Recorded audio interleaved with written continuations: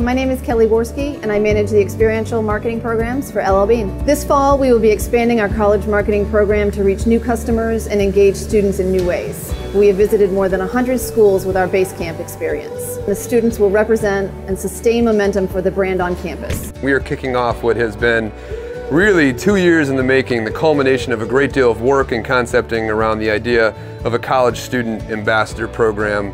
And it's been filled with all sorts of, of really wonderful things and unique opportunities. They have cross-platform marketing assignments that fall into the social media, event planning, and brand engagement categories. And really all of this has, has been put forth, this training, this brand immersion to really prepare them to, um, to go back onto their college campuses and effectively talk about LL Bean and drive a lot of brand awareness and engagement and get people excited about the brand and all its products and what it stands for and where it's come from and where it's going. My name is Lauren Whitehead and I'm a brand ambassador for LL Bean. I go to Ohio State University. So I really loved being able to work with a brand that I had grown up with and promote it and help bring it to other students that I know love it. We're able to do a good job with reaching a large spectrum of students and being able to talk to a lot of students about the brand.